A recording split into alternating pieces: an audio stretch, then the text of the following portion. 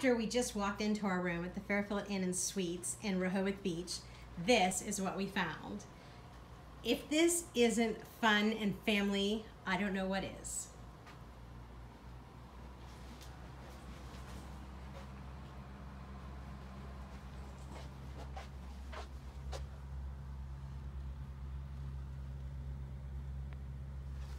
Yeah. Can I try to fit myself in the heart?